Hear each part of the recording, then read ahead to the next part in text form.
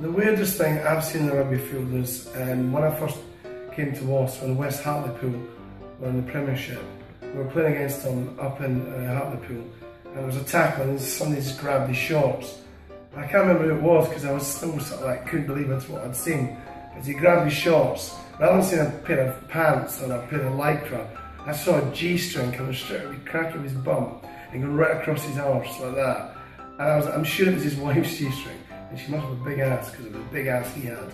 Uh, and that is the worst thing I've ever seen a rugby field. For first and exclusive updates, join now